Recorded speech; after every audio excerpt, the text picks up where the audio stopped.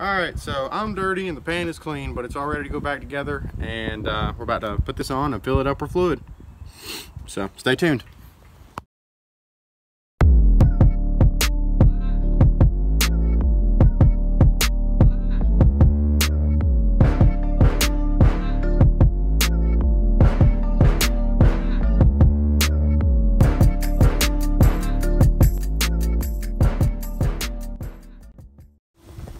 Hey guys, welcome back to the Real World Garage. This is Gavin here today and we're servicing the transmission in my 1968 Ford Country Sedan. Y'all come over here and take a look at this book and we will go over a few things we need to cover before we get started. This is an original 1968 shop manual for all Fords for that model year. Uh, my grandfather bought this for me and it is the absolute Bible on this car. Um, here on the first page it tells us how to read our VIN code. Uh, the last digit here is your transmission code.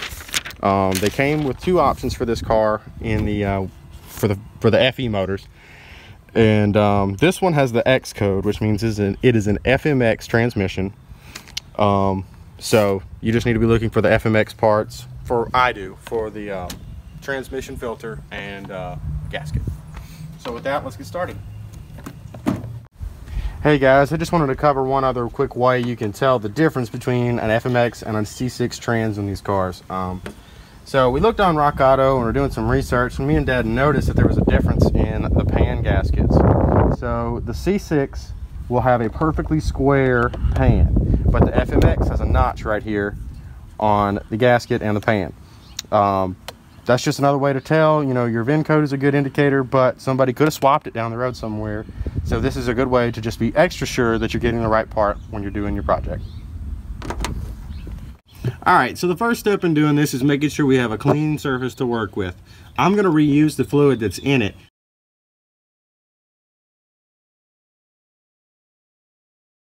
So when I drain it, I need to make sure it's clean and there's not gonna be any particulate getting in the fluid. Um, so I just have a screwdriver and a flat blade here and I am going to scrape it and clean it and then I'm gonna use some purple power, a brush and some water to finish cleaning it up and then I'm gonna unbolt the pan, drain the fluid, and we'll move on to the next step. All right, guys, we're just gonna bust these loose. Um, if anybody's working along with me, it's a uh, half inch socket on these.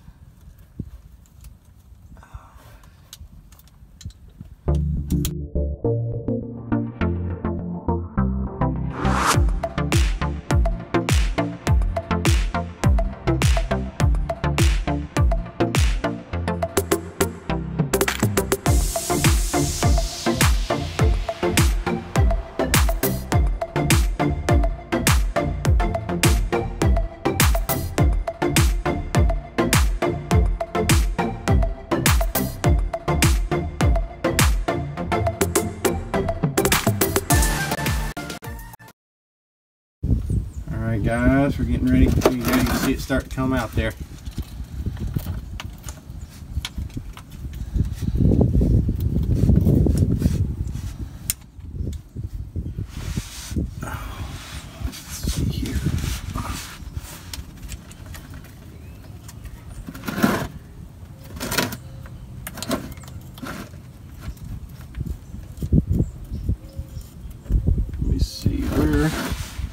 Is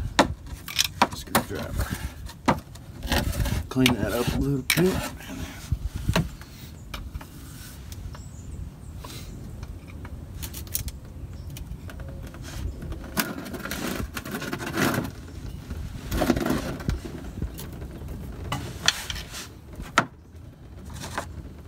And we'll just keep working it out.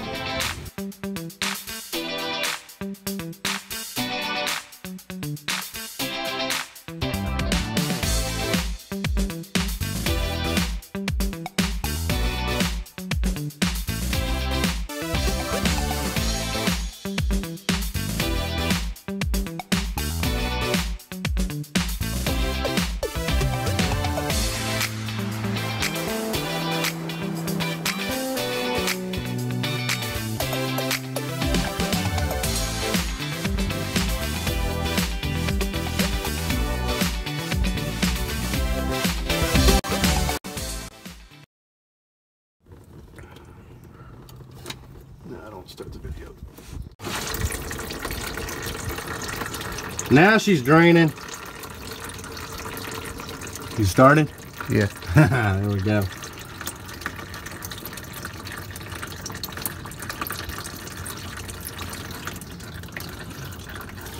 We're just gonna let it sit there and drain for a little while and come back in a little bit.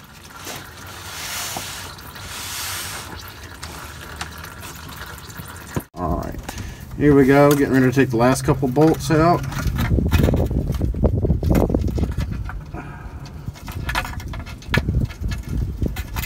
Getting a little slick under here with all this transmission fluid. They can be a little tricky.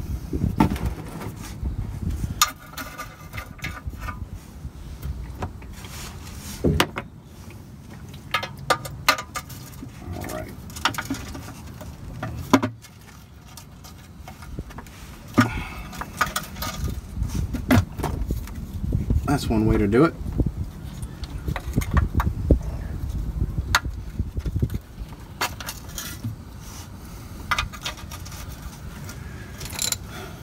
We'll edit this part out. Um, Why are you being so finicky?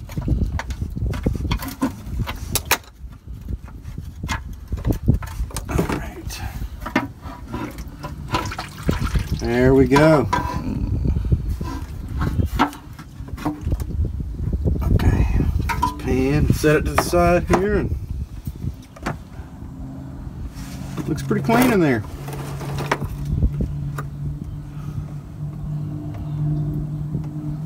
All right, so we got the pan off and um, got all the fluid drained out of it. Did this really impromptu today, so we don't even have brake clean, but um, I'm wiping it off with a, a good rag here. You wanna make sure extra care goes into making sure there's no debris, nothing in here. Um, I'm gonna scrape this gasket surface real quick. I've already done it on the car.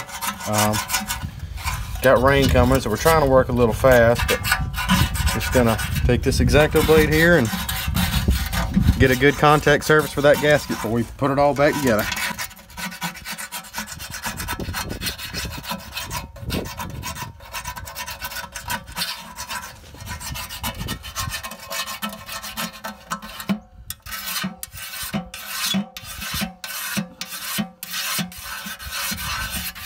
All right, so I'm dirty and the pan is clean, but it's all ready to go back together. And uh, we're about to put this on and fill it up with fluid.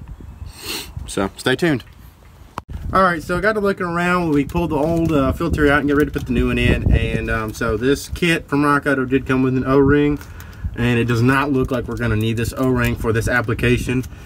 Sometimes, you know, different transmissions might use the same filter, but um, go in, fit differently. This one does not need this part though. So for the FMX, you will not need an O-ring. Uh, it is just a filter. It goes, slides back up in here. And you have a, um, let me find it. Oh yeah, here you go. Have this little clip here. So we're gonna just slide this back up. Let's see, get that there. Ah, Let's see. Make sure we get this in here the right way. That feels pretty snug. Let's uh,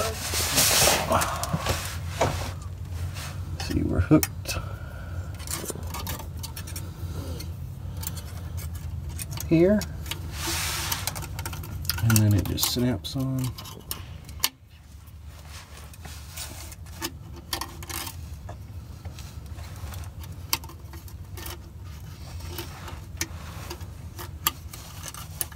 There we go. All right, filter's back in there and uh, ready to rock. All right, guys, we're gonna get ready to slide this back up in here.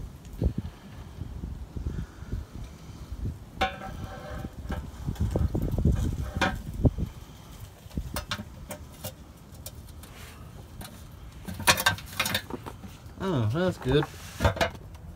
Send the bolt flying. Son of a bitch. Over. Alright guys, had a little technical difficulty getting it started back up in there, but um, everything's ready to rock and we're to finish putting these in here and uh, fill it up with fluid, so stay with us.